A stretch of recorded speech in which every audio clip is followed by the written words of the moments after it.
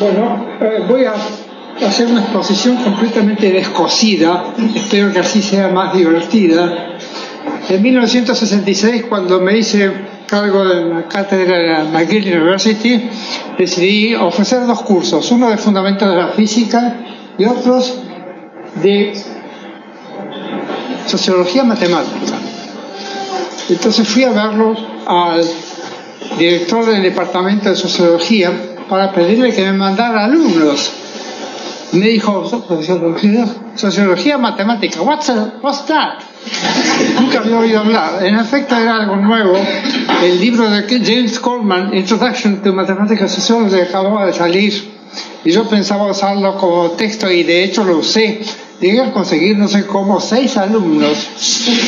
La economía matemática se ocupa no solamente de datos estadísticos, sino que se ocupa de introducir e interrelacionar variables sociológicas, por ejemplo, desigualdad, a la que acaba de referirse eh, Marcelo.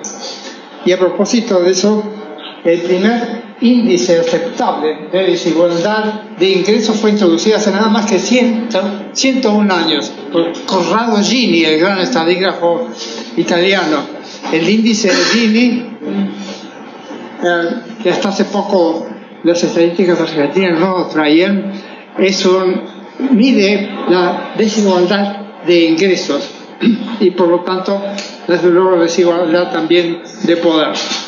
Pero los primeros en interesarse en los números en ciencias sociales fueron los historiadores, no los economistas, que no lo sabían en la antigüedad el primer historiador en nombrar números fue Heródoto, el padre de la historia.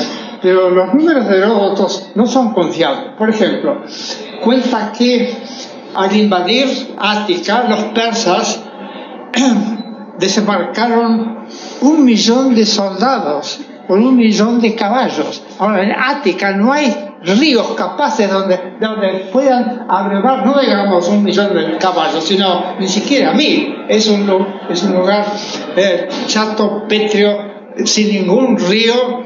Eran números inventados.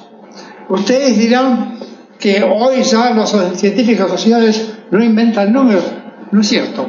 Hace tres años o cuatro, Paul Samuelson, premio Nobel de Economía, cuyo texto, el libro de texto obligatorio de las universidades norteamericanas, ha vendido millones de ejemplares, dijo que el motivo de la decadencia de la industria norteamericana eran los altos salarios que habían conseguido los sindicatos. Ahora bien, solamente el 7% de la mano de obra norteamericana está sindicalizada, solamente el 7%. Y el trabajo eh, insume a lo sumo el 10% del costo de producción de cualquier, de cualquier mercancía en los Estados Unidos. ¿Por qué decía eso Samuelson? Obviamente porque es un porque odia a los sindicatos. Así, mentía, deliberadamente. Premio Nobel no es el primero, desde luego, no es el primero. Los premios Nobel no se caracterizan en economía o en de la paz. No se no se han caracterizado por su imparcialidad. Como digo, Heródoto inventaba números como si fuera un premio Nobel de Economía. En cambio, su sucesor, eh, Tucídides, que es el fundador de la historia científica, a quien sí se le puede confiar, daba con precisión el número de hombres que tenían cada uno de los barcos de guerra de los atenienses que combatían a los espartanos el número de barcos que aportaba cada miembro de la Confederación eh, y el número de hombres con, toda precisión. No macaneaba, él, hacía lo posible por ser preciso y verídico. Por eso es el fundador de la historia científica. Y, la historia fue la primera ciencia social. Pero las estadísticas no nacieron en la historia ni nacieron en la economía. La estadística nació en una ciencia biosocial, a saber, la demografía. La demografía hizo sus primeros balbuceos en la época de Newton, cuando se llevaban concienzudamente, se llevaban eh, los datos de las muertes causadas por la plaga, por la peste. Eh, se, las tablas mortality tables. y, pero se tardó casi dos siglos en convertirse en una ciencia propiamente dicha, hace más o menos 200 años, gracias a un astrónomo, Bertillon, quien fue el primero en hablar de del hombre medio, el hombre promedio, que es por supuesto una, una abstracción, pero en todo caso el primero en introducir conceptos estadísticos, parámetros estadísticos tales como promedio y varianza, que son esenciales en cualquier estadística.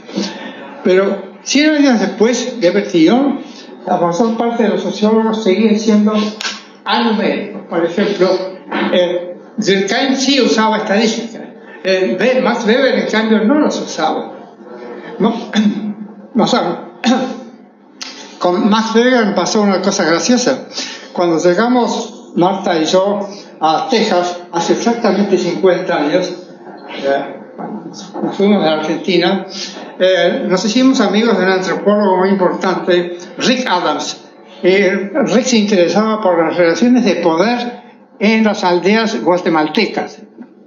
Entonces, él había leído en Max Weber, Max Weber definía el poder como la probabilidad de alterar la conducta del otro, la probabilidad.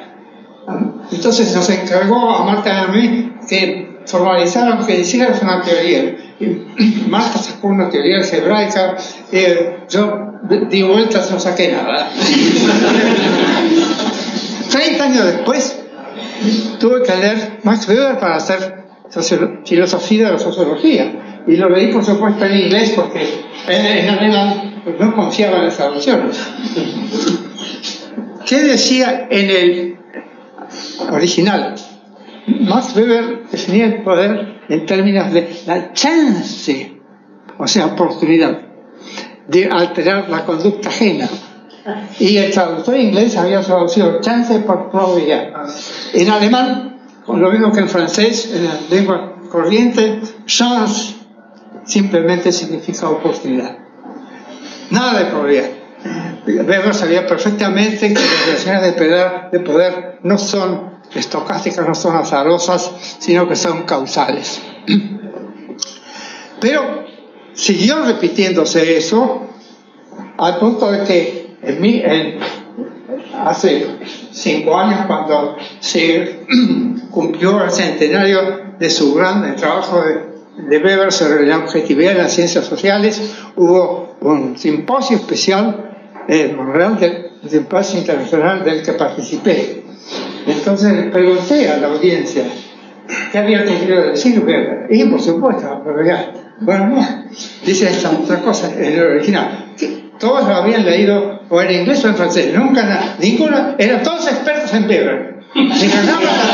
respetaban a Weber y no lo habían leído en alemán. Entonces, pasaba, pasó con lo que pasó en los primeros años del cristianismo con las traducciones del arameo al, griego, eh, era, un error de traducción causaba una divergencia en la iglesia y perseguían a la gente, los simplemente por un error de traducción. en todo caso,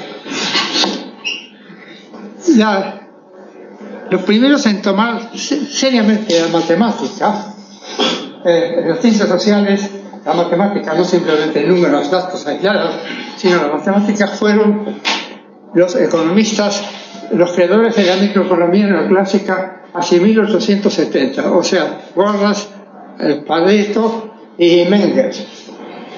Pero hay una mula muy importante escondida ahí. Ustedes conocen los caballitos de la tabla de la microeconomía neoclásica que prende el, primer día de clase. Cantidades, precios. La idea es que, perdón, estoy confundiendo utilidad. La idea es que la oferta aumenta con los precios, precios acá. Que la oferta aumenta con el precio. Hay datos sobre ofertas de modo que tiene sentido hablar de una curva empírica, son curvas empíricas, no curvas que. Pero después le dicen a uno, ah, esta es la oferta. La demanda, en cambio, es esta. Y este punto es el punto de equilibrio, es el precio cuando el mercado está en equilibrio, o sea, cuando la oferta iguala a la demanda pero como lo hizo notar en los años 70 Oscar Morgenstern, esta curva no existe. A lo sumo hay algunos puntos, algunos puntos. Esta curva no existe. Nadie sabe cuál es la, la demanda, no hay manera de saber. Los precios sí, están ahí en la vidriera o están en los catálogos, los precios sí, se puede saber. Pero la demanda no, no hay catálogo de demanda. Además, la demanda se puede variar eh, artificialmente mediante la publicidad y mediante el engaño. Entonces, esta, esto simplemente no existe. No se puede hablar de un precio de desequilibrio si no se sabe cuál es la curva de, de No es esta la única debilidad de la micro. La otra es esta, es el principio de la maximización de las utilidades. Si es la utilidad esperada, la utilidad esperada es igual a la probabilidad de que algo ocurra multiplicada por la utilidad. ¿Cuál es la utilidad? La utilidad es el provecho o la satisfacción que nos deriva afirman los economistas que cada uno de ustedes, usted, usted, usted, cada uno de ustedes tiene su curva de utilidad. Entonces, usted le pregunta al economista, ¿usted conoce su curva de utilidad? Ah, no, nadie sabe. Es un secreto. Ni saben cómo medirla, cómo hacerla. Pero eso sí, se sabe que cada cual tiene su, su función de utilidad. Entonces le preguntan a, uno le pregunta, ¿y cuál es el aspecto general ¿cuáles son las funciones de seguridad? Ah, son estas. Actividad, utilidad, todas de este tipo. Primera derivada positiva, segunda derivada negativa. Entonces, hay muchísimas curvas. Hay una infinidad de curvas, de funciones, perdón, que tiene esta gráfica. Una infinidad. Por ejemplo, los países,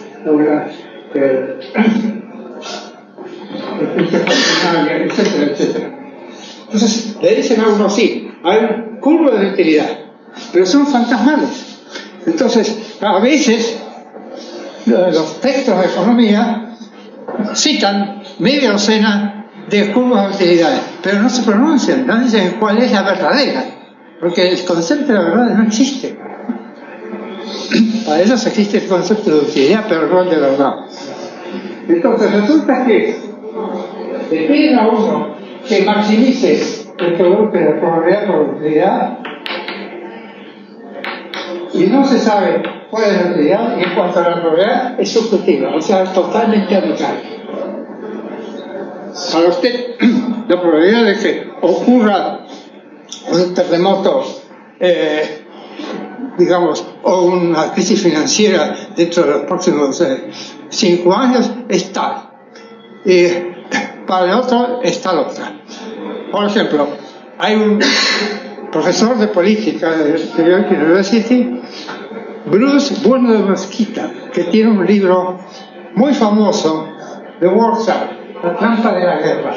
Tiene una compañía que se ocupa de hacer pronósticos, de, encontrar la probabilidad de que en Irán, por ejemplo, de que Irán eh, eh, construya una bomba nuclear dentro de los próximos años. Y cobra por eso, cobra gobiernos, cobra empresas, por hacer pronósticos políticos de ese tipo. ¿Y cuáles? Las probabilidades completamente subjetivas. Hay toda una escuela de teoría de probabilidad, la escuela de la probabilidad personal, la probabilidad subjetiva, que dice, no me pregunte cuál es la verdadera probabilidad, cada cual tiene la suya. Así que si para usted la probabilidad tal y para mí es diferente, los dos tenemos razón. La, probabilidad, verdad objetiva no existe. Lo único que existen son sensaciones, percepciones eh, subjetivas. Entonces, la teoría de juegos, fundada por Neumann, el gran matemático Neumann, y Morrison, es de ese tipo. Eh, la microeconomía neoclásica, todas las teorías de acción racional emplean los conceptos de probabilidad y de utilidad aun cuando casi todos los procesos que ellos estudian no son estocásticos, no son procesos al azar, sino que son perfectamente causales.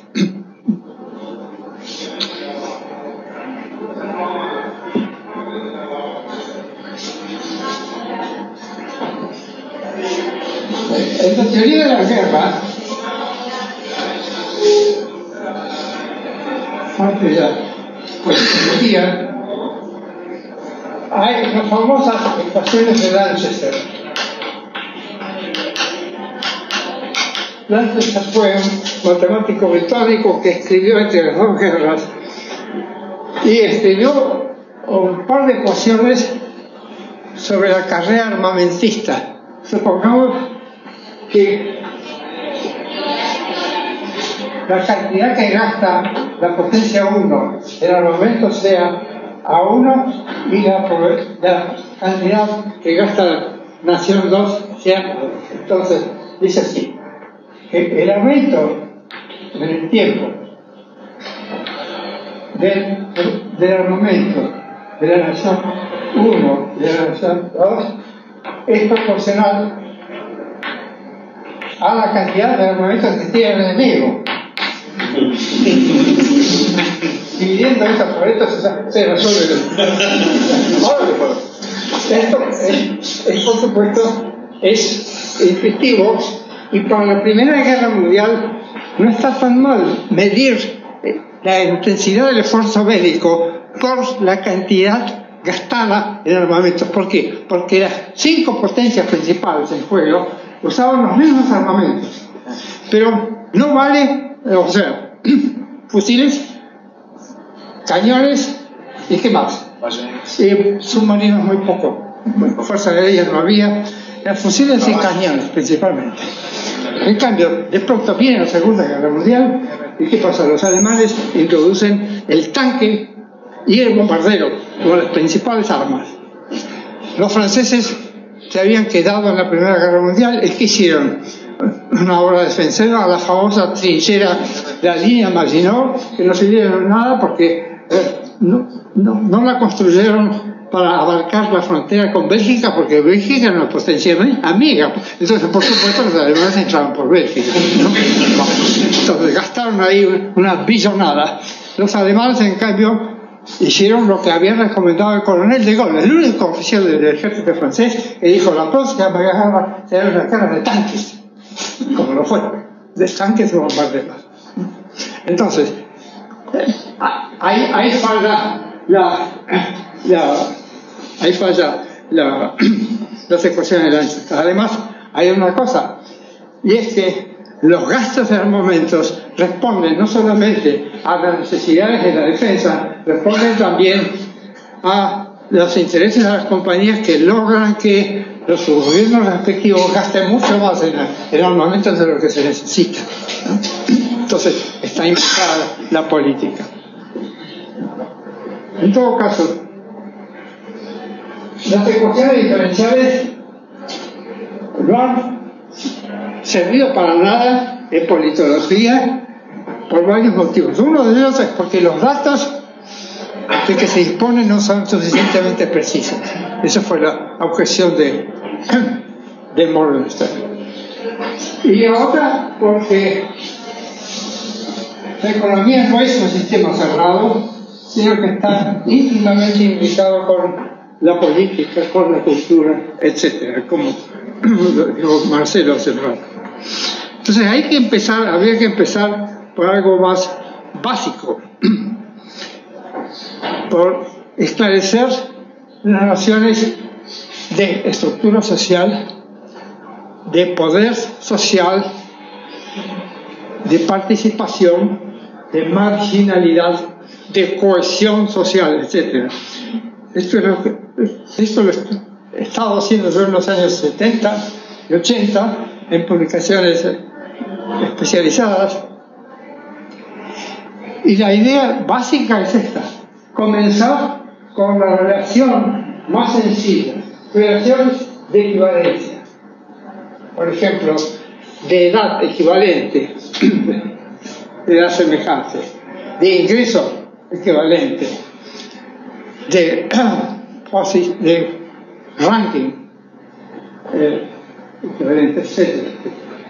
Entonces, una, si se toma una sociedad cualquiera, la partición de ese conjunto por la relación, esta relación de equivalencia nos da una pizza. Por ejemplo, niños, jóvenes, adultos viejos. O clase trabajadora, clase media, clase alta, etcétera, etcétera. Es una relación cualitativa, pero la cantidad viene enseguida.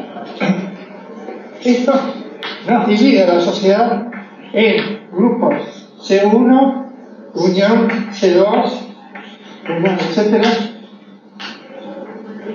en relaciones equivalentes. El paso siguiente es contar las cabezas acá, que hay en el grupo C1, contar las cabezas que hay en el otro, etcétera, etcétera. Contando cabezas, contar es más fácil que medir. Por eso la demografía y la epidemiología son más exactas que la economía y la politología.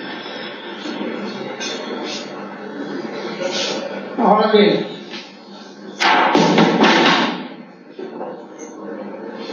hay muchas relaciones de equivalencia posibles, interesantes, importantes.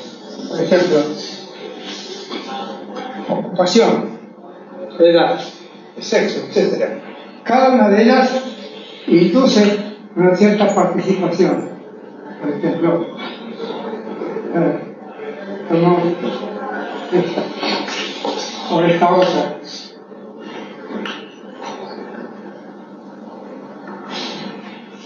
Este, dibujando en perspectiva,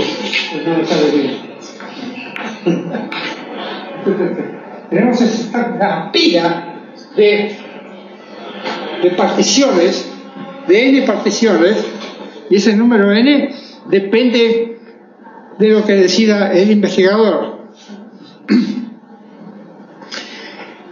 Entonces, al conjunto ese de particiones lo llamamos estructura social de la sociedad Entonces, la participación del grupo I social y esa sociedad por el grupo J, por ejemplo, la participación de los campesinos en política, etc. Entonces, eh, si sumo ahora eh, los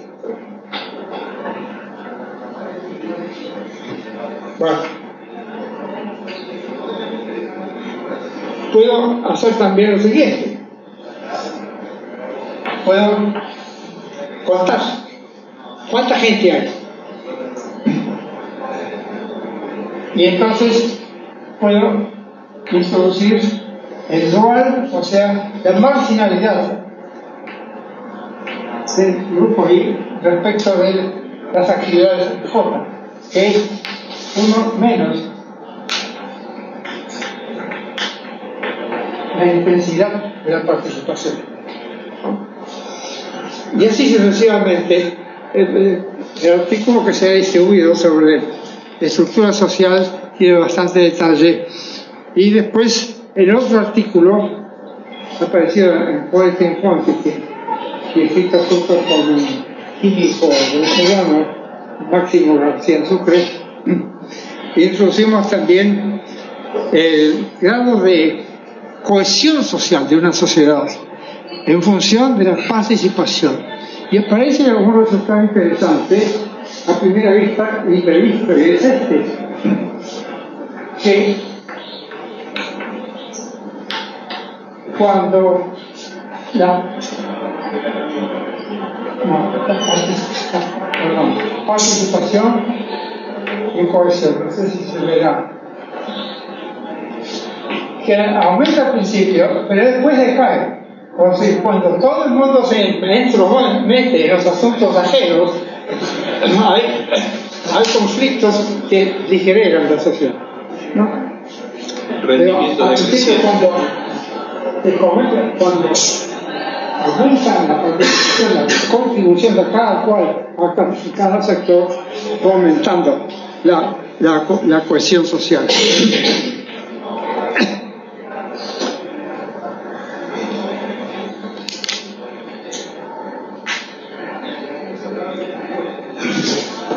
Bueno, entonces, el problema para las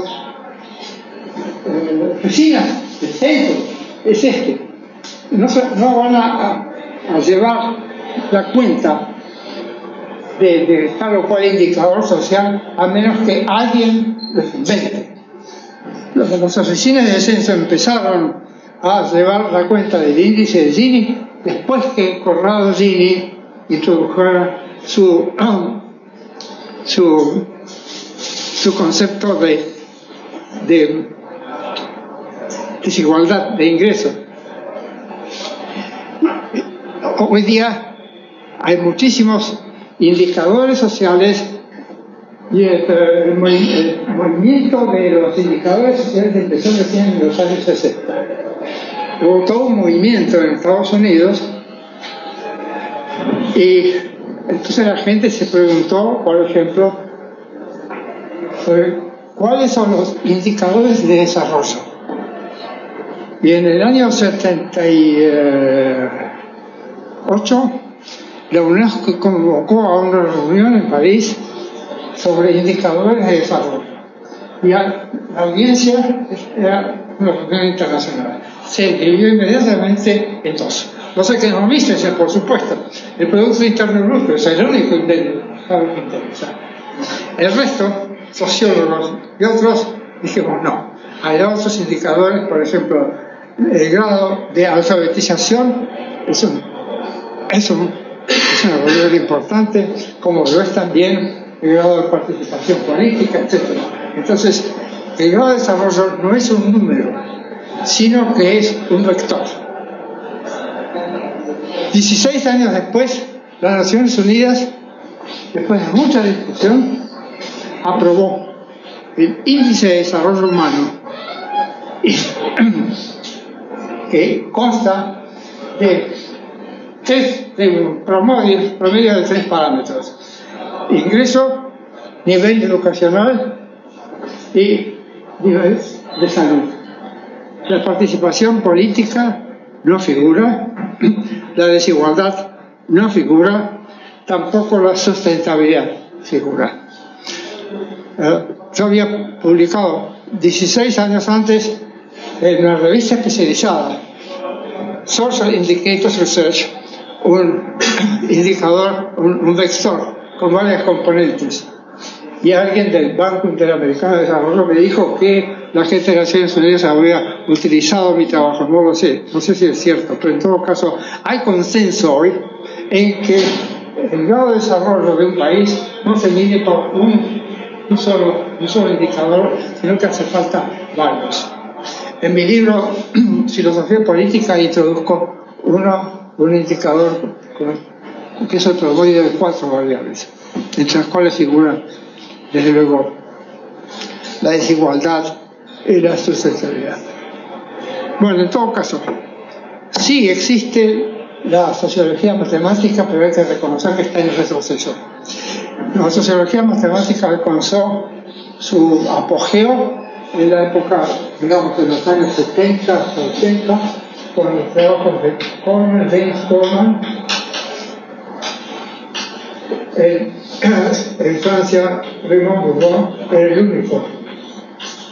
Todos los, los, los politólogos, los sociólogos postmodernos son anumédicos, o como me dijeron en una conferencia en el Departamento de Sociología en Sydney, Australia, hace 11 años, al terminar mi exposición, uno estaba indignado, y usted está casado con el paradigma numérico. Pecado terrible. Hablar de números a un, a un científico social es una rama de la literatura, no de la ciencia. Y dicho sea de paso, yo mencioné las ciencias biosociales. La sola, esta sola frase hace temblar a los idealistas, a los seguidores de la escuela histórico-cultural alemana, en particular Wilhelm Dilthey, quien dijo que hay dos ciencias que no tienen nada que ver entre ciencias, cultural y las sociales. No tienen nada que ver entre ciencias. Y lo dijo en 1982, cuando ya existían ciencias híbridas, como la demografía, la epidemiología, la psicología e incluso la geología, desde hacía tiempo. La ignorancia de los filósofos idealistas es insondable. Uh, y eso, Dilthey tuvo mucha influencia en la filosofía argentina. Bueno, creo que es hora que me calle y ustedes me hagan preguntas precisas y concisas. ¿Y en voz Ah, como soy sordo, no tengo que hablar muy fuerte y el beneficio de, del doctor López de Castellano. ¿Ok? Eso me va a transmitir. Sí, le pregunto. Eh, si usted cree que en un sistema de organización como el que está realizado en el libro Filosofía Política de Democracia Integral, ¿Usted cree que en un sistema de ese tipo, de, sistema hablando del sistema de organización social, con todos los componentes que se mencionan en el libro y que usted explicó recién, si cree que el comportamiento de los eh, agentes económicos, para bromear un poco, que están introducidos en ese sistema, eh, condicionados bajo una imposición moral, si usted cree que esa imposición ética o moral puede sobrevivir en el tiempo en un sistema que no refuerza psicológicamente dicho comportamiento.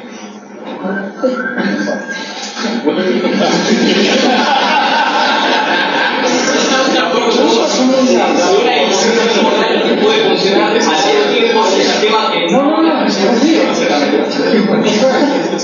imposición moral, una imposición moral puede funcionar a largo plazo en un sistema como el que usted propone de, de filosofía política. Bueno, en todas las sociedades, en todas las sociedades hay normas morales. A veces hay moralidad doble, una para los ricos, otra para los pobres, una para los poderosos, otra para los débiles.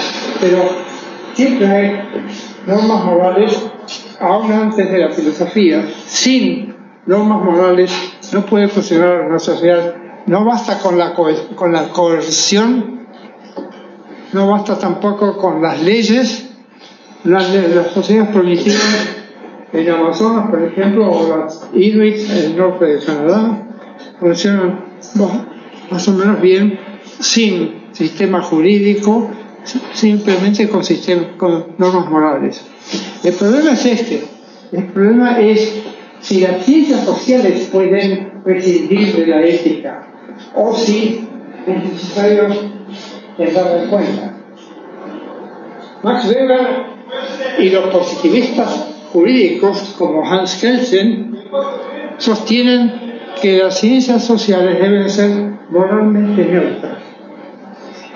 O sea, en otras palabras, no tenemos nada, nadie, cada cual por, por sí son individualistas y de hecho adoptan una moral que es la hedonista, la individualista la que no tiene en cuenta que sin un mínimo de altruismo no funciona ningún grupo social.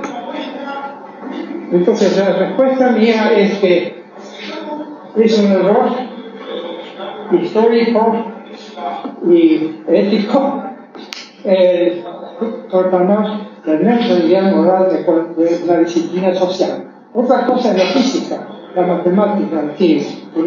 No, se ocupan de relaciones no se ocupan de qué. Se ocupan de cosas inanimadas o de organismos que no tienen preceptos morales. Entonces, la, respuesta es no. Las ciencias sociales deben tener en cuenta las morales existentes e incluso reformarlas. Una más, en relación de, de la técnica de producción y distribución en las relaciones sociales. ¿Escucha? No, no, no. Yo creo que lo va a escuchar. No, no, La incidencia que tiene el avance de la técnica y la tecnología en la producción, ¿cómo afecta a las relaciones sociales en términos del trabajo? A medida que avanza la tecnología, hay cada vez menos trabajo para que la gente realice y se produce cada vez más. Entonces, la complejidad social, incluso el análisis social de culturas sociales, disminuye eh, de forma radiante porque no se necesita trabajar para ver sino que se puede producir. ¿Cómo influye? El trabajo están, los puestos de trabajo están, están desvaneciendo. Hay, hay estudios sociológicos sobre eso y hay posibilidades de arreglar eso. La más elemental es, por supuesto, disminuir la forma de trabajo. En lugar de trabajar ocho horas, trabajar cuatro.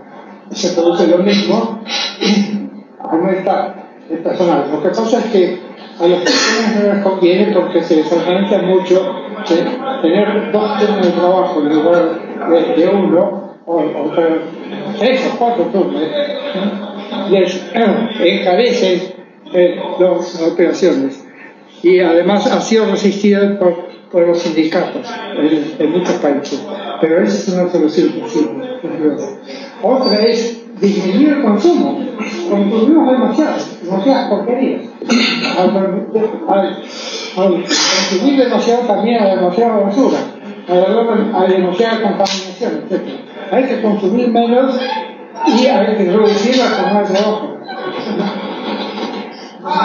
Muchas preguntas. Pero ahí ya estamos en tecnologías sociales, no ciencias sociales. Las ciencias sociales estudian la sociedad tal como es. Las tecnologías sociales, como el derecho, como la economía llamada eh, la economía, eh, la, macroeconomía aplicada, son técnicas sociales. Sí. La, en la tecnología, siempre, siempre tenemos normas morales que respetar. Eh, no, son normas profesionales. El, ingeniero, el ingeniero tiene un código de conducta profesional que le exige que haga las cosas bien. No le pregunta a quién va a beneficiar o a quién va a perjudicar. Quiere decir, el, ingeniero, buen ingeniero desde el punto de vista de la, sociedad argentina de ingenieros es el que se ajusta a, las especificaciones técnicas pero puedes diseñar el arma de destrucción masiva perfecta. Puedes diseñar eh, dams, como se dice, diques, diques que albergan toda una región, etcétera, etcétera. Y no hay que olvidar a quien financia. Ah, Entonces, el, el científico, eh, el, el, físico, digamos, el físico no necesita otra no, no necesita, no necesita no tiene que copiar, etc. Pero el ingeniero le exige mucho más, le exige que además de comportarse técnicamente bien, no tiene que ser un hijo de puta.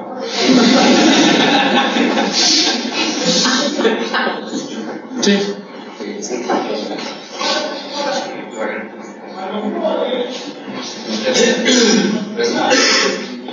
Doctor, ¿qué, considera usted esencial para que la psicología científica eh, trabaje en aras de facilitar la cohesión social.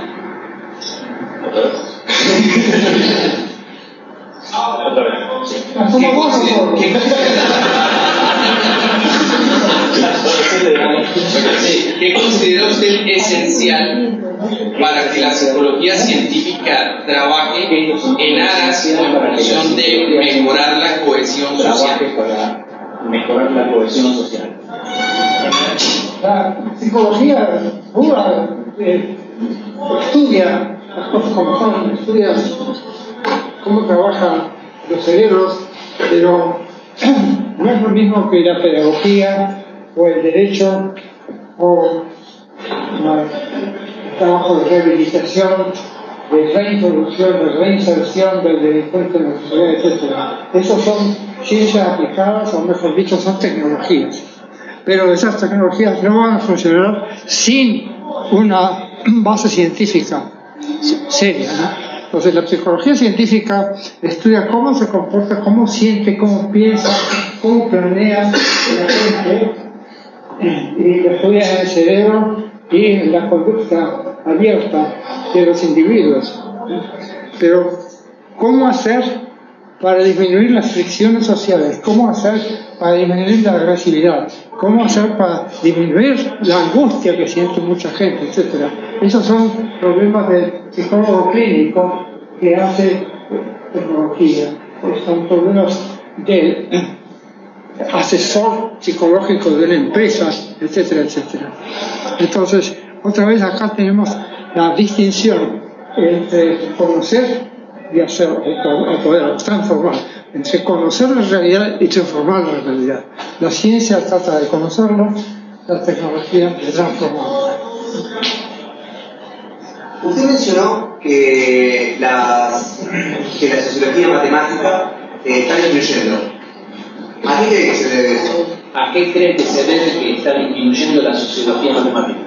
A la invasión por modernismo, al científico que han venido invadiendo desde infancia, por supuesto empezaron en la época del nazismo, ya el nacionalismo, la discusión de la tecnología, del existencialismo del culto de Nietzsche, etc. Y eso ha llegado a a la decadencia de las, de las ciencias sociales, en particular de la sociología matemática. Afortunadamente, la epidemiología matemática sigue en buena salud. Lo mismo la demografía, pero son ciencias biosociales. Hay muchos motivos, pero un motivo importante de la decadencia siempre de cualquier disciplina es la mala filosofía que se descubre, que nos viene de la facultad de biología. La buena filosofía se hace aquí.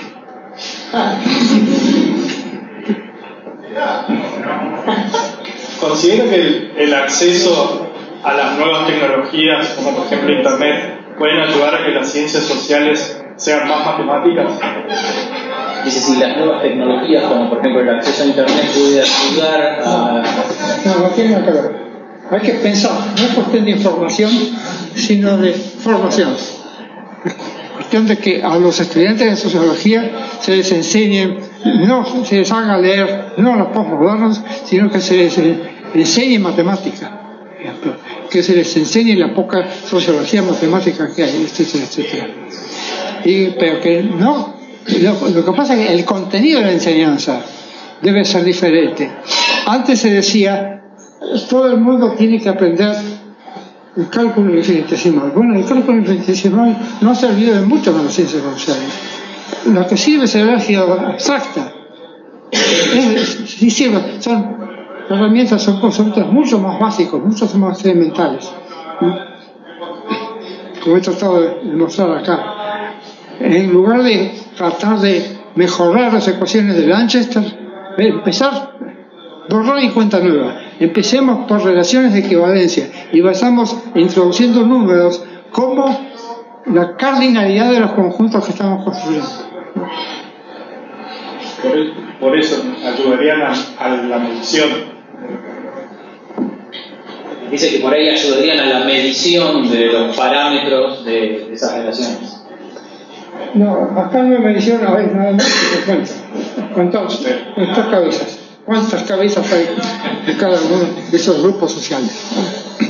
Por ejemplo, cuando se habla de poder, del poder que, que, que, que tiene un individuo en una sociedad, podemos decir que el poder que tiene el, el individuo X en la sociedad, ese es igual al número de individuos que a quienes domina X en el la población total de la sociedad. Eh, hay, hay, otro- hay otras medidas en mi libro, mi libro sobre las ciencias sociales en discusión, introduzco varias eh, medidas, por ejemplo, de poder, de poder político, eh, etcétera. Anomia, eh, pero siempre conceptos muy elementales. Eh, en el futuro esperemos que también sirvan las ecuaciones diferenciales, integrales y mu- mucho más. Pero por ahora hay que, creo que hay que limitarse a conceptos mucho más básicos. ¿Cuál es su opinión del problema del cálculo enunciado por Burmaisis en relación a nuevas y mejores tecnologías sociales y eventualmente unas ciencias sociales más científicas? Tenés que estar más, más cerca de ¿Cuál es su opinión del problema del cálculo enunciado por Burmaisis en relación a nuevas y mejores tecnologías sociales y ¿Cálculo de qué? El problema del cálculo, que es imposible calcular la demanda en, si no es en un mercado libre? Ah, no, no, porque calcular es una medida. Ok. ¿Y puede ser posible que eso mejore con unas ciencias sociales más científicas y mejores herramientas de análisis No lo social? sé, no lo sé. Pues, Puede ser que sí, pero por ahora lo único, es- la única herramienta que se tiene es el demasiado duro, además la gente suele mentir o suele equivocarse, suele no saber. No saber qué quiere o qué está haciendo. Igual la afirmación es intrínseca. ¿Eh? ¿Hay algún problema filosóficamente intrínseco a poder calcularlo? Dice que es imposible. No, no, no. no. Esa es la afirmación. No, no. No, todas esas barreras inventadas por los filósofos idealistas, en particular la escuela de Wittgenstein, eh, las barreras entre naturales y las que están inventadas. Ojalá. Sí, sí, considera que hay corrientes historiográficas que podrían ser consideradas científicas. Pregunta si, si usted considera que hay corrientes historiográficas que podrían ser consideradas científicas. Ah. Empezando por Tucídides, siglo V antes de Cristo. La escuela de los Anales en, Francia, que desgraciadamente se desintegró como parte de la Guerra Fría, porque empezó en 1930 más o menos. Es la escuela más científica es no separar la historia de la antropología, de la geografía, de la sociología, eran ciencias sociales. Por ejemplo, fueron los primeros en ir a la casa de contratación de Sevilla para saber cuánta gente cruzó el océano entre España y, y las Américas durante el siglo que sucedió a la conquista, o sea, durante el siglo XVI. ¿Cuánta gente iba de España a las colonias por año? ¿Cuántas ciudades? Caben en un jumbo. Mil, nada más que mil. ¿Quiénes eran? Eran avisadores, eh, ¿cómo se dice? Ahorcadores, que erigían, les llamaban algo de justicia, o sea, la horca, escribanos, eh, uno que otro artesano, uno que otro albañil, pero pobladores, cuando se dice que los españoles poblaron es una mentira. Unos pocos encomendados y que gracias a, los fusiles, a los camiones y a los, perros sobre todo, a los perros que aterrorizaban a los indígenas, dominaron a, a una población, no se sabe si eran 20 millones o 200 millones de gente. Nadie llevaba la cuenta los muertos por, por influenza, por, uh, etc. En todo caso, no sé, no sé qué venía, me olvidé. No estaba relacionado con el tema de, de la historia, ¿no? De la historia no, sí, la historia.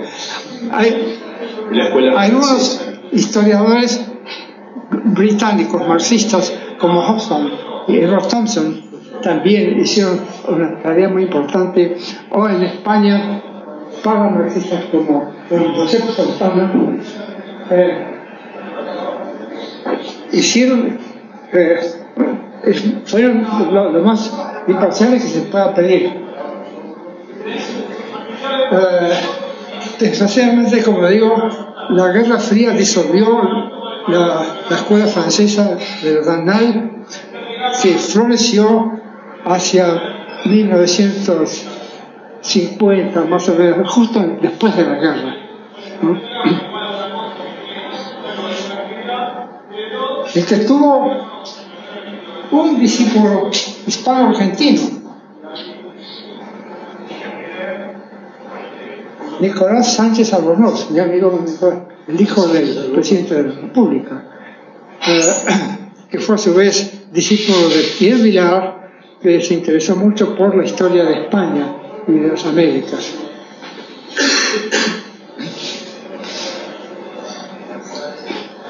¿Sí? Eh, cuando mencionaste eh, el tema de la cohesión y la participación, ¿no podría haber un modelo aunque, aunque haya más participación en los actores sociales, no, no baje la cohesión de la sociedad? En el modelo de la relación entre la participación y la cohesión, ella pregunta si no podría haber un modelo en el cual al aumentar la participación no disminuya la cohesión.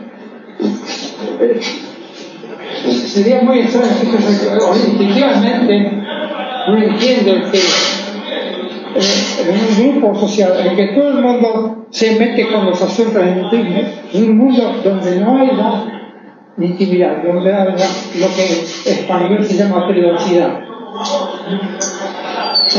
La gente se llevaría las patadas. Es necesaria, la esfera privada es necesaria preservarla. Esa esfera privada no existe en los regímenes totalitarios.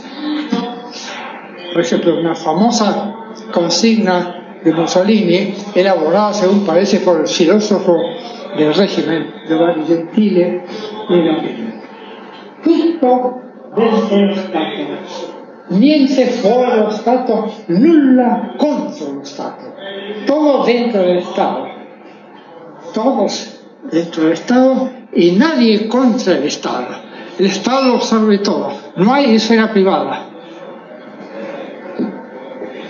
El Estado se puede meter en todo. Esa es total, justamente es definición del Estado.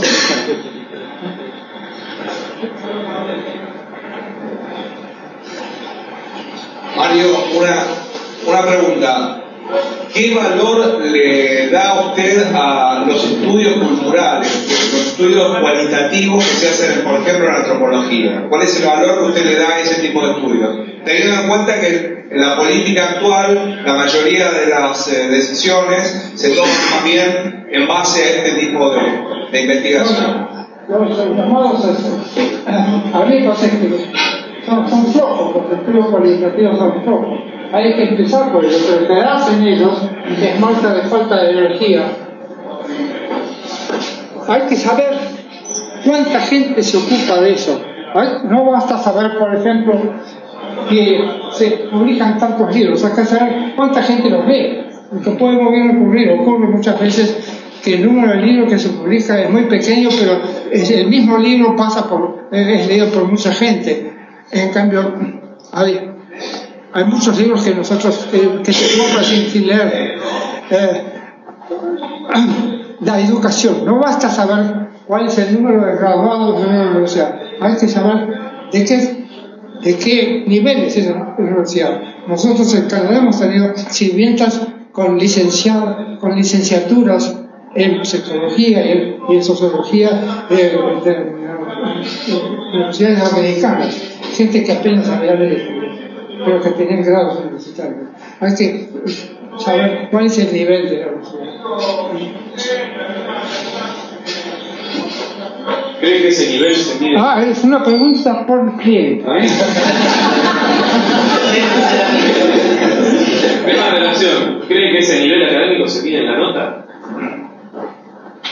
Si usted cree que ese nivel académico se mide en la nota. No.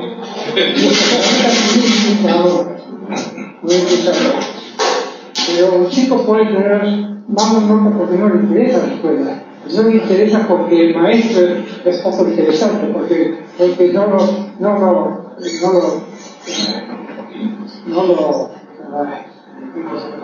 challenge, no lo, no lo. No no. No.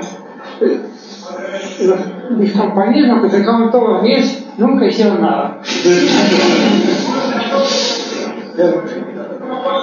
Ahí está, ahí está ese ejemplo básico. Cuando lo alumno. Hay que motivar a la gente. Y las escuelas suelen ser como las escuelas para perros, las escuelas regresar para adiestrar, enseñar algunos trucos, pero los chicos no se sienten felices. Mi padre, hace más de 100 años, fue durante un tiempo profesor de biología en la escuela secundaria, era médico, y le enseñó biología, entonces se llevó su microscopio, porque la escuela no tenía. Entonces puso una, hizo preparaciones, cuando hago esta escuela de jardín, y entonces invitaba a los chicos a pasar. Al principio, nadie, ah, decía, al principio decía, todos van a pasar, todos están aprobados. Pero, por favor, los que no se interesen, vayan al fondo, jueguen hasta aquí y dos pasos.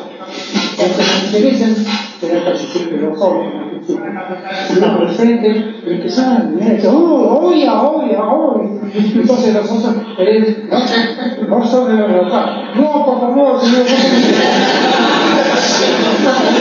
Todos estaban entusiasmados viendo esos bichitos que parecía imposible en una gota de agua eh, ver tantos bichitos. ¿no? Que motivarlo. Me saludaba de evolución. A mí me habló de evolución cuando yo tenía 5 años de edad.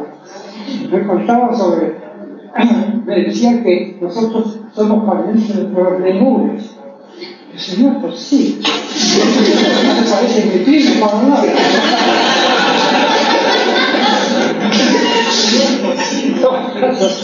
Hay que, hay, hay que ser, eh, hay que, hay que ser un profesor motivado para que su vez pueda motivar.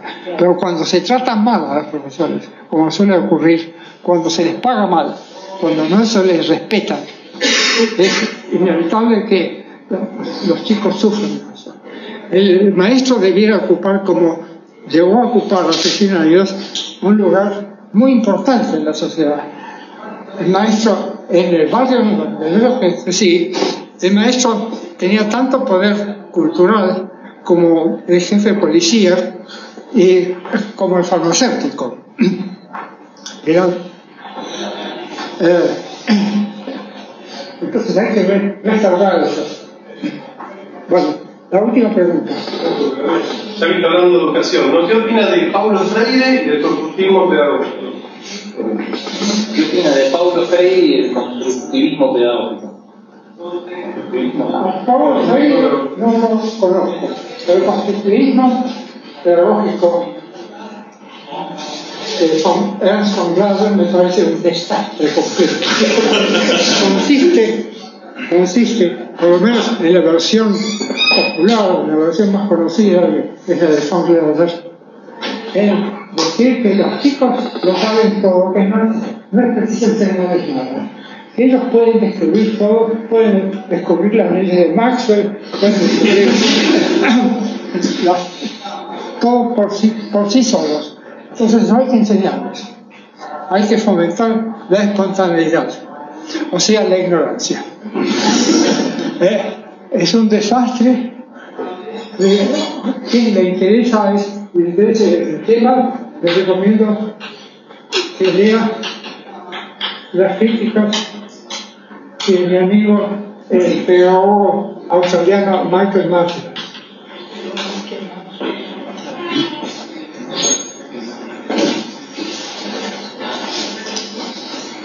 Bueno, la última. La última. Sí, sobre, sobre pensando en la microeconomía, ¿cuál es su opinión sobre la aplicación de la ecología del comportamiento a poblaciones humanas en antropología? Por ejemplo, para cazadores recolectores. Se pregunta cuál es su opinión de la aplicación de la ecología del comportamiento en antropología. No tengo idea de lo que sea la antropología del comportamiento. Claro, Mario, tenemos que modelos de depredación óptima, por ejemplo. Eh, es un cúmulo de conceptos y teorías que apuntan a entender el comportamiento de diferentes de poblaciones, de grupos de individuos. Eso es la ecología del comportamiento. No, no sé nada eso.